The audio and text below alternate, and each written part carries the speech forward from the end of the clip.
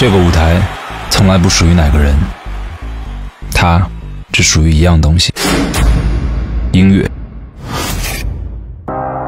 足够好的音乐，不断问自己：我的音乐还能不能再好一点？还能不能再独特一些？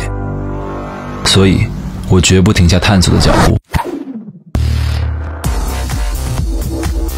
跨界、融合、创新、突破，